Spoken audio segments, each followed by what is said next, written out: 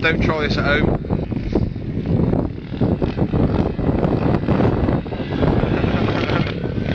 Ha ha ha.